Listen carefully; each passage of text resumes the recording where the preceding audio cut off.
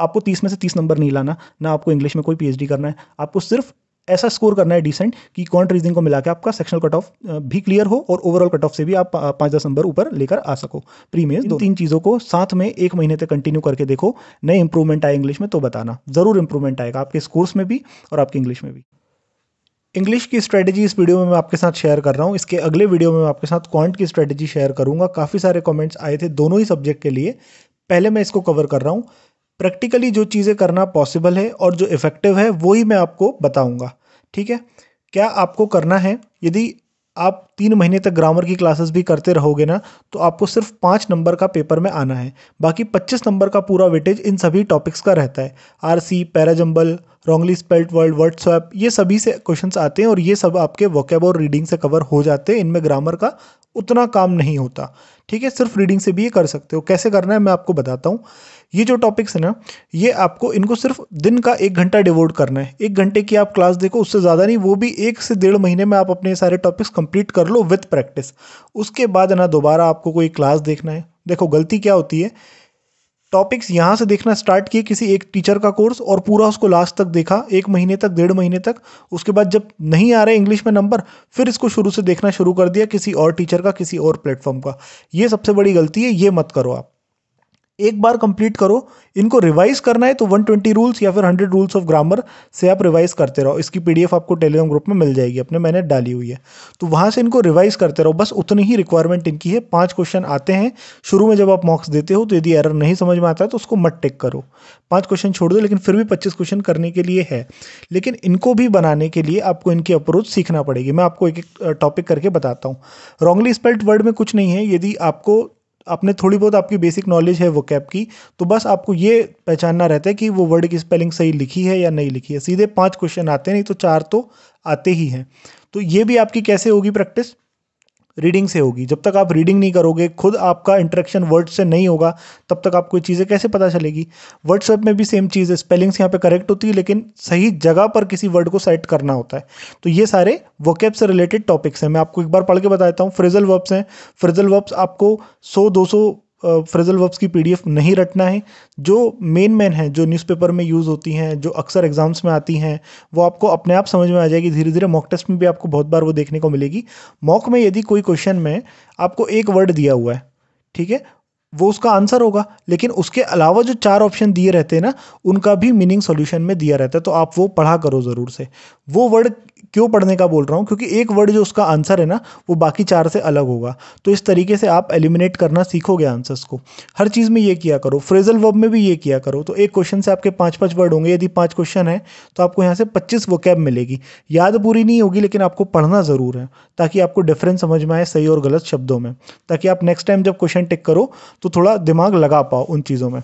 तो ये सारे वोकैब से रिलेटेड इस तरह से क्वेश्चन है। फिलर्स जो वन लाइन के आते हैं, वो भी आपके वोकैब से ही होंगे।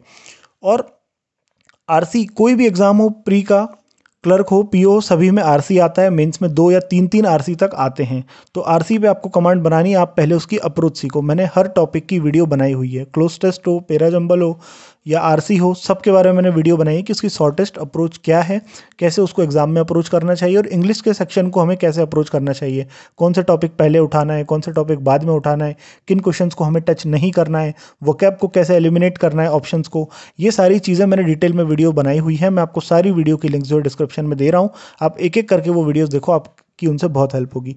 न्यूज़पेपर कैसे पढ़ना है और न्यूज़पेपर से करंट अफेयर्स कैसे निकालना है स्टैटिक ये भी मैंने आपको डिटेल में बताया हुआ है, ये आप इस वीडियो में ज़रूर से देखना। ठीक है?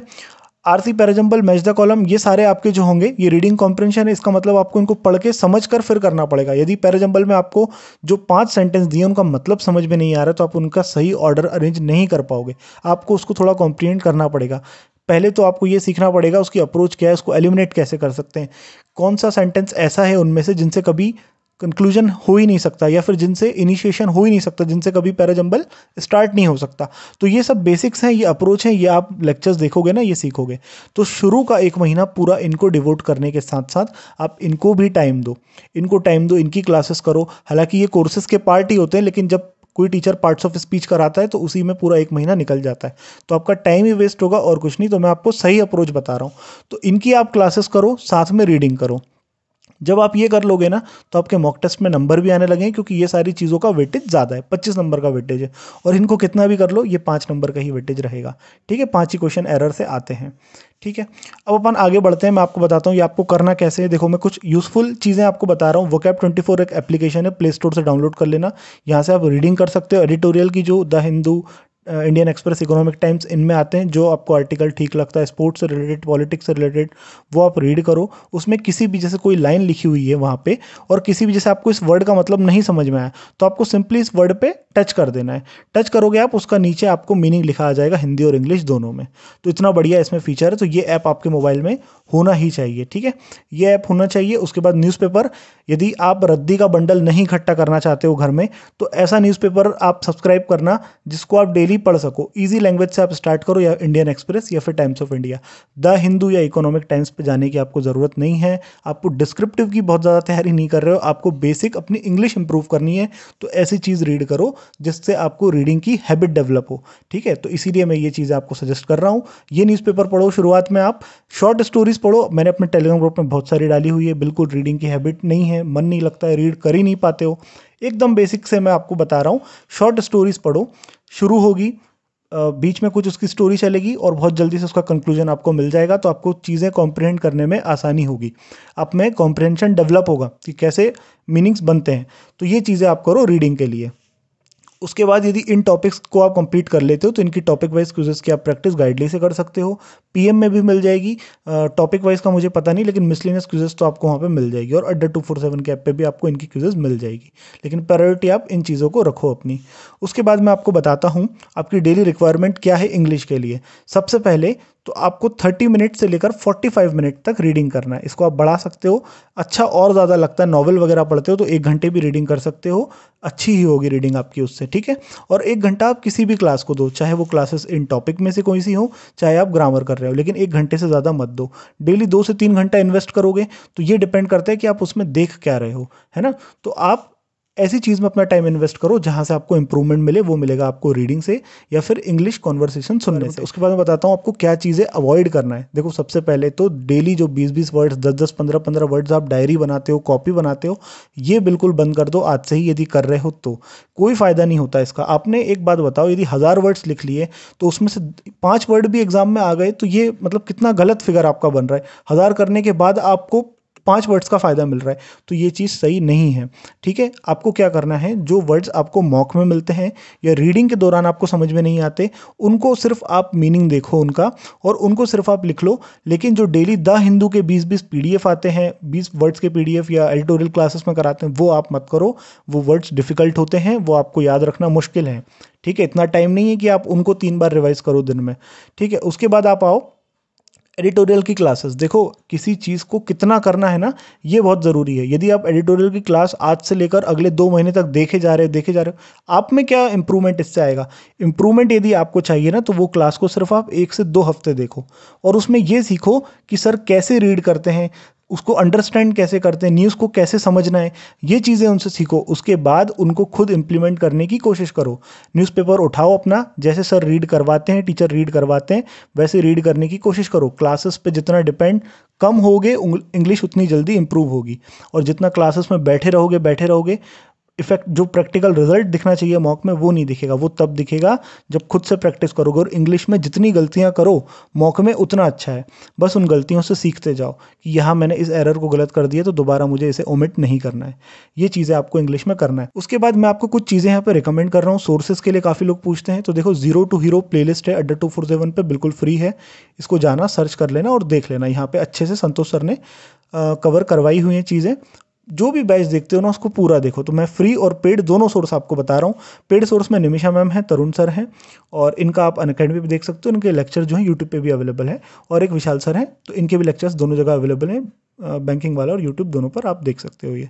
ठीक है तो ये मैंने सोर्सेज की बात कर दी। अब जैसे किसी को इंग्लिश में प्री और मेंस दोनों साथ में कवर करना है तो मेंस के लिए कोई बहुत ज़्यादा चीज़ें रिक्वायर्ड नहीं है। जो मैंने ऊपर बताया बताई बातें आपको उनका ध्यान रखना है और एक चीज़ आपको मेंस के लिए करना है। जैसे आपको परफेक्शन बैच देखना है तो मैंने पिछले वीडियो में भी बोला था साल छः महीने उसको देखने की ज़रूरत नहीं है। सिर्फ़ ये देखो कि कैसे क्वेश्चंस आते हैं, उनको अप्रोच कैसे करते हैं। और जो भी यूट्यूब पे मेंस की फ्री क्लासेस अवेलेबल हैं, उनसे भी आप अपनी मेंस की प्रैक्टिस कर सकते हो, देख सकते हो कि किस तरह के क्वेश्चंस आते हैं जो मैंने बताए। ठीक है?